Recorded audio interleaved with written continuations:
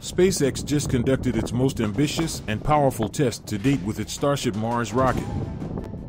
SpaceX ignited 14 Raptor engines on Booster 7, a prototype of Starship's first stage Super Heavy rocket, during a static fire test today, November 14th, at Starbase, the company's South Texas facility. Full test duration of 14 engines, SpaceX founder and CEO Elon Musk tweeted shortly after the static fire, which took place at 1:51 p.m. Eastern Standard Time, 1851 GMT, and lasted about 10 seconds. The test was captured on video by observers such as NASA Spaceflight and Rocket Ranch Boca Chica. Static fires are common pre-flight trials in which a rocket's engines are briefly ignited while the vehicle stays anchored to the ground. And SpaceX is gearing up for a flight with Starship, the program's first orbital test mission, which apparently will involve Booster 7 and an upper stage prototype known as Ship 24. That landmark flight could launch before the end of the year, Musk has said.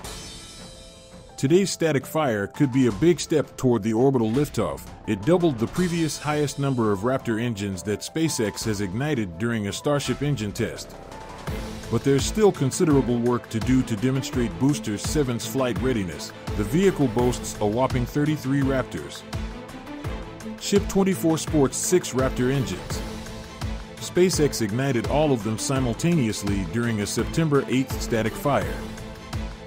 SpaceX is developing Starship to take people and cargo to the Moon and Mars, as well as perform a variety of other spaceflight tasks.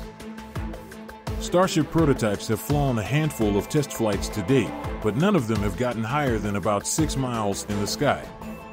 And none of them have involved a super heavy vehicle.